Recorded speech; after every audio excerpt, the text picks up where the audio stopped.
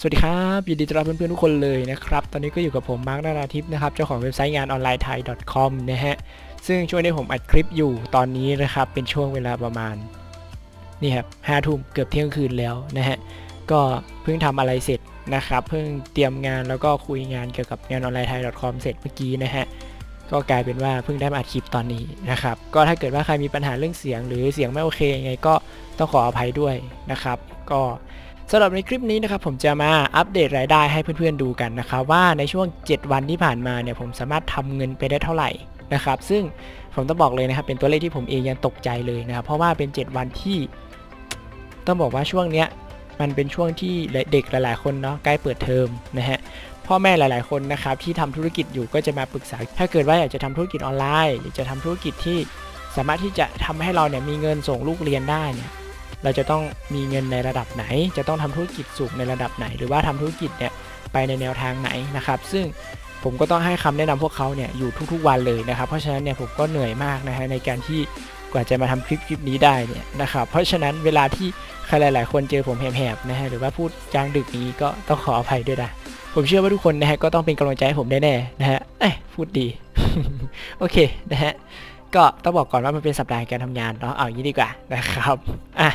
ก่อนอื่นนะครับก่อนที่เราจะไปดูรายได้ของผมนะครับในช่วง 7 วันที่ผ่านมานี้นะครับให้ทำการกดไลค์ให้ผมกดไลค์เลยนะฮะ แล้วก็กด Subscribe ด้วยนะครับ แล้วก็อย่าลืมกดกระดิ่งเพื่อรับแจ้งเตือนเวลาผมอัพคลิปใหม่ๆด้วยนะครับ โอเค ถ้าเกิดว่าพร้อมแล้วตอนนี้นะครับ เรามาดูรายได้ของผมในช่วง 7 วันที่ผ่านมากันเลยนะฮะถ้าแทมอันนี้เป็นกราฟนะฮะ อะยังไม่ได้รวมตัวเลขให้นะ อะเดี๋ยวเรามารวมพร้อมกันเลยนะครับ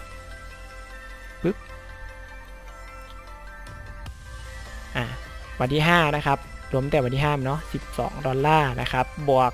6 ดอลลาร์ บวก 130 ดอลลาร์นะฮะ แล้วก็บวก 96 ดอลลาร์ บวก 12 ดอลลาร์ บวก 10 ดอลลาร์ บวก 32 ดอลลาร์ แล้วก็บวก 18 ดอลลาร์นะครับ เป็นเงินอยู่ทั้งสิ้น 316 เหรียญ 16 ดอลลาร์นั่นแหละ อ่าเดี๋ยวผมขอเช็คก่อนนะครับว่า มันจะเพิ่มขึ้นจากนี้หรือเปล่าโอเคไม่เพิ่มแล้วนะอะงั้นเดี๋ยวเราลองมาแปลงค่าเงินกันดูนะครับว่า 316 ดอลลาร์นี้นะครับคิดเป็นเงินไทยเนี่ยมันเป็นเงินกี่บาทกันนะฮะอะเรามาดูกันเลยอะก็เว็บไซต์เจ้าเก่าเจ้าเดิมนะครับโอเค316 ถูกต้องไหม316 ดอลลาร์นะฮะ นี่นะครับคือรายได้ในช่วง 7 วันที่ผ่านมาของผมนะฮะซึ่งคลิปก่อนหน้านี้ก็มีนะครับก็คือหยุดทำงานไป 7 วันทำเงินเกือบหมื่นเนาะแต่อันนี้หยุดทำงาน 7 วันนะฮะทำเงิน 1 0,000นฮะอะปรบมือให้ผมหน่อยครับ ก็ถ้าเกิดว่าใครชอบนะฮะหรือว่าใครคิดว่าเออมันเจ๋งว่ะนะครับผมเจ๋งนะฮะกดไลค์นะฮะแทนคำปรบมือให้ผมด้วยนะฮะ ก็ต้องขอบคุณมากๆเลยนะครับ ที่ติดตามกันมาตลอดเนาะก็ต้องบอกว่าถ้าไม่มีผู้ชม ไม่มีทุกคนที่ดูคลิปนี้นะครับ ผมก็อาจจะหมดกำลังใจตั้งแต่วันแรกที่ผมได้เริ่มทำยูล่าแล้วก็ได้นะครับ เพราะว่าเรื่องราวมันยาวนะครับ เอาไว้เดี๋ยวจะมาทำคลิปแยกเล่าให้ฟัง ก็ถ้าเกิดว่าใครอยากจะฟังเรื่องราวของผมนะฮะ คอมเมนต์ไว้ด้วยนะครับ แล้วก็ติดแฮชแท็กไว้ด้วยนะครับ ว่าเป็น Mark Story นะฮะ Mark Story นะ ติดแฮชแท็กให้ด้วยนะครับ อะขอบจะเป็นว่าคุณอย่างมากเลย ถ้าเกิดว่าอยากฟังนะครับ เดี๋ยวจะเล่าให้ฟัง โอเคนะ ก่อนอื่นเลยนะครับ ก็ถ้าเกิดว่าตอนนี้ใครเล่นในคอมนะฮะหรือว่าใครเล่นในมือถือนะครับ ถ้าเกิดว่าอยากดูต่อนะครับ ผมแนะนำให้ถ้าเล่นในคอมนะเปลี่ยนแท็บได้เลยนะครับ หรือว่าถ้าเล่นในมือถือนะครับ หรือว่าดูคลิปในมือถือนี่อยู่นะ ก็ให้ความหน้าลงนะครับ เพราะว่าหลังจากนี้นะครับ ผมจะมาแชร์ทัศนคติของผมนะครับ ในการที่ได้เริ่มต้นทำอะไรสักอย่างหนึ่งนะฮะแล้วก็มีความไม่ยอมแพ้นะครับ มาเล่าให้ฟังกัน ซึ่งมันไม่ใช่เรื่องราวของผมนะครับ แต่มันเป็นสิ่งหนึ่งที่ผมอยากจะมาเล่ามาสอนให้ทุกคนนะครับ ซึ่งถ้าเกิดว่าใครที่ไม่ชอบการสอนนะครับ ก็ชวนฟังนิดนึงนะครับ ผมเชื่อว่าคำพูดของผมเนี่ยมันอาจจะให้ทุกคนนะฮะได้มองเห็นถึงศักยภาพที่มีในตัว แล้วก็ได้ดึงมันออกมา แล้วใช้มันนะฮะในการที่จะเริ่มเปลี่ยนแปลงชีวิตของคุณจริง ๆนะครับ ก็แนะนำให้ดูให้จบนะครับ ดูให้จบนะงั้นเดี๋ยวเราไปเริ่มฟังกันเลยนะฮะก็สำหรับรายได้นะครับที่เกิดขึ้นจากยูล่านี้หลายๆ คนก็คงจะคิดนะฮะว่าเฮ้ยผมทำเงินไปได้เยอะขนาดเนี้ยนะฮะในช่วง 7 วันที่ผ่านมาเนี่ย ผมต้องมีเคล็ดลับอะไรแน่เลยนะฮะความจริงแล้วนะครับผมไม่ได้มีเคล็ดลับอะไรเลยนะครับมันอยู่ที่ความตั้งใจล้วนๆเลยนะครับ หลายๆคนคิดว่าผมเนี่ยทำรายได้มาเนี่ยรวมแล้วตอนนี้นะครับผมมีรายได้อยู่ 2,276 เหรียญนะครับ เราลองมาแปลงเป็นเงินกันดูนะ 70 ไม่ใช่7 72 ไม่ใช่ 76 นะครับ ขออภัยด้วย ผมทำเงินได้ 70,000 กว่าบาทนะครับ ในช่วง 1 เดือนกับอีกประมาณ 10 กว่าวันนะฮะ ที่ผ่านมาเนี่ย ผมทำเงินได้ถึง 70,000 กว่าบาทเนี่ยผมต้องมีเคล็ดลับแน่เลยนะครับ ความจริงผมไม่ได้มีเคล็ดลับอะไรเลยนะครับ ผมมีแค่ความขยันแล้วก็ความตั้งใจเท่านั้นนะฮะผมต้องบอกก่อนเลยนะครับว่าถ้าเกิดว่าใครมีความขยันนะครับคือคุณตั้งใจจริง ๆ ที่แบบคุณจะเอาดีด้านนี้ให้ได้ คุณจะทำเงินออนไลน์นี่แหละเป็นอาชีพให้ได้ คุณอยากจะส่งเสริม คุณอยากจะทำให้ตัวเองเนี่ยไปได้ไกลขึ้น แค่มีความขยันครับพูดจริง ๆ เดี๋ยวความเก่งความมั่นใจทุกอย่างมันจะตามมาเองฮะเหมือนเวลาผมทำคลิปเนี้ยหลายๆคนก็คิดว่าเฮ้ย เห็นผมพูดอย่างเงี้ยผมต้องแบบเฟกแน่นอนนะครับ ความจริงคือผมพูดอย่างเงี้ย ผมก็เหมือนพูดกับเพื่อน เหมือนพูดกับทุกคน เหมือนคุยกับพี่น้อง เพราะว่าทุกคนนะครับ ทุกคอมเมนต์ไม่ว่าจะดีหรือร้ายนะ ผมต้องขอบคุณทุกคนเลยนะครับ เพราะว่าถ้าไม่มีทุกคอมเมนต์ที่ดี และไม่มีทุกคอมเมนต์ที่อาจจะพูดแย่กับผมนะฮะ ผมก็ต้องบอกเลยนะครับว่าก็ไม่มีผมวันนี้เช่นกัน ถ้าเกิดว่าไม่มีคอมเมนต์เหล่านั้น เพราะทุกคอมเมนต์คือกำลังใจครับ ทุกการกดไลค์ทุกการกด dislike ทุกการกด subscribe นะฮะ ทุกยอดวิวที่เพิ่มขึ้นเนี่ยมันคือกำลังใจครับผมมันทำให้ผมรู้สึกว่าเวลาผมทำอะไรสักอย่างหนึ่งอะมันไม่ควรท้อ เพราะคนที่ยังตามดูเราอยู่เนี่ยมันไม่ใช่มีแค่คนคนเดียว ไม่ได้มีแค่ตัวเราคนเดียวแต่มันยังมีอาจจะเป็นน้องๆ อาจจะเป็นรุ่นพี่ อาจจะเป็นคนที่กำลังหาอินสปายหรือว่าหาความตั้งใจหาความมั่นใจในตัวเองอยู่ คนเหล่านี้มีอยู่ทั่วประเทศ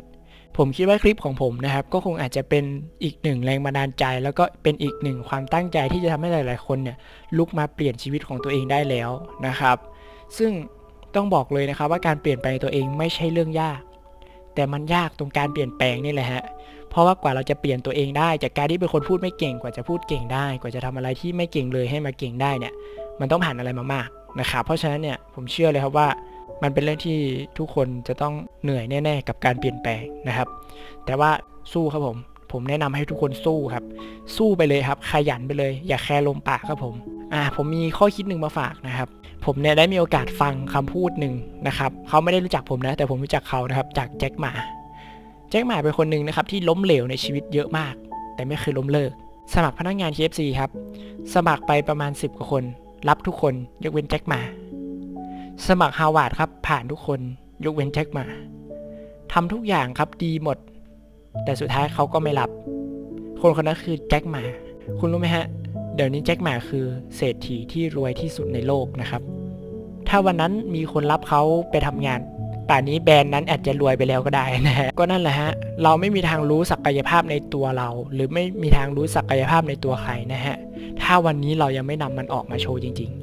ผมก็เป็นคนหนึ่งนะครับที่ทำเว็บไซต์ขึ้นมา เพื่อส่งเสริมให้คนไทยทำงานออนไลน์เป็นอาชีพ และทำคลิปนะครับเพื่อส่งเสริมคนไทยให้เริ่มต้นสร้างชีวิตที่ดีขึ้นได้แล้ว คุณอาจจะทำงานประจำอยู่ และเงินไม่พอรายได้ไม่พอ อาจจะหารายได้เสริมจากทางอื่นมาเพิ่ม ผมก็แนะนำเป็นทำงานออนไลน์เลย เพราะว่า 1. ไม่รบกวนงานประจำ 2. คุณหลับอยู่รายได้ก็เข้ามาตลอด 3. คุณไม่ต้องลงทุนสูง นี่คือสิ่งดีที่เกิดขึ้นจากการทำงานออนไลน์นะครับ แล้วผมมองว่า เนี่ยมันเป็นอีกหนึ่งทางที่ทำให้คุณสามารถที่จะปลดหนี้ชีวิตคุณเองได้ รู้จักคำว่าหนี้ชีวิตไหมหนี้ชีวิตก็คือการที่เราทำอะไรสักอย่างหนึ่งฮะตั้งเป้าหมายเอาไว้ แต่เราทำมันไม่สำเร็จ นั่นก็เป็นหนี้ชีวิตของเราครับหนี้ชีวิตก็คือเป้าหมายที่เรายังทำไม่สำเร็จ วันนี้เรามีเป้าหมายที่เรายังทำไม่สำเร็จกี่เป้าหมายครับ ถ้าเรามีเป็นร้อยเป็นพันเป้าหมาย แต่เรายังทำไม่สำเร็จ ผมบอกเลยนะครับ สิ่งเหล่านี้ล้วนแต่เป็นสิ่งที่ทำให้เราไม่ไปถึงเป้าหมายของเราทั้งนั้น การที่เราจะประสบความสำเร็จหรือว่าไปถึงเป้าหมายของเราได้นั้นน่ะผมแนะนำเลยฮะหาอินสปายให้เจอหาคนที่คุณคิดว่าเขาจะมาเป็นคนหนึ่งครับ ที่ทำให้เราเนี่ยประสบความสำเร็จในชีวิตได้ หาไอดอลให้เจอครับ แล้วทำตามแล้วเรียนรู้ ถ้าเราสามารถถามเขาได้ให้ถามครับ เพราะว่ามันเป็นสิ่งหนึ่งครับที่ทำให้เราไปถึงความสำเร็จได้เร็วขึ้น ก็สำหรับคลิปนี้นะครับก็หวังว่ามันจะเป็นแรงบันดาลใจให้ใครหลาย ๆ คนนะฮะเพื่อนๆหลาย ๆ คนอาจจะไม่อยากฟังนะครับ ก็อันนี้ก็ต้องขออภัยด้วยนะ แต่ว่าที่พูดออกมานี้นะครับ เพื่อต้องการจะให้ทุกคนนะฮะได้มองเห็นถึงสิ่งที่อยู่รอบตัวเรานะฮะวันนี้เราใช้ชีวิตอยู่บนเส้นทางของเราจริง ๆ หรือเปล่านะครับ เราใช้ชีวิตอยู่บนเส้นทางของสังคมหรือเปล่า เส้นทางของสังคมคือเส้นทางที่เราต้องตั้งใจเรียนจบไปหางานดีๆทำทำงานดีๆ เสร็จแล้วอายุ 60 เกษียณ เกษียณเสร็จแล้วทำอะไรฮะ แก่ไงฮะ แก่ตัวนะครับ สุดท้ายแล้วความฝันที่เราตั้งเอาไว้ ไปเที่ยวต่างประเทศ มีครอบครัวที่อบอุ่น มีบ้านสวยๆ บางคนอาจจะฝันไกลหน่อยนะครับ ก็คือถ้าแต่งงานแล้วอาจจะมีฮันนีมูนไปเที่ยวกัน แต่สุดท้ายติดอยู่ที่ทำงาน สุดท้ายไปไม่ถึงฝัน ไปไม่ถึงที่ตั้งเอาไว้ สุดท้ายใครที่เคยตั้งความฝันไว้ว่าอยากจะเป็นนักร้อง อยากจะเป็นคนทำเพลง หรืออาจจะเป็นคนที่อยากจะพูดให้แรงบันดาลใจคน แต่ทำไม่ได้ เพราะติดหน้าที่การงานอยู่ ผมส่งเสริมนะครับ คุณไม่ต้องทำงานออนไลน์ก็ได้ แต่คุณให้ทำตัวเองครับ ให้ประสบความสำเร็จในด้านนั้นๆ ให้ได้ ผมเป็นคนหนึ่งครับที่รักแล้วก็หลงไหลในการทำเงินจากโลกออนไลน์ และผมหวังว่าคำพูดของผม และความคิดของผมทัศนคติของผมนี้ มันจะทำให้คุณนะครับได้มองเห็นทางที่มันเปลี่ยนแปลงไป และทำให้คุณเนี่ยได้พบเจอกับอะไรที่มันดีขึ้นนะครับ เส้นทางของชีวิตครับสังเกตมันดีๆ คุณเดินอยู่บนเส้นทางของคุณเอง หรือเดินบนเส้นทางของสังคมครับผม อย่าพยายามเดินบนเส้นทางของสังคม และคิดว่ามันคือเส้นทางของตัวเองนะฮะ เพราะเมื่อไหร่ที่มันไปถึงปลายทาง คุณจะไม่ปลื้มกับผลลัพธ์ที่ได้แน่นอนครับผม ก็สำหรับคลิปนี้นะครับ ผมก็หวังว่าคุณจะชอบ และหวังว่ามันจะเปิดโอกาสให้คุณรู้จักกับโลกใบใหม่ โลกของงานออนไลน์นะครับ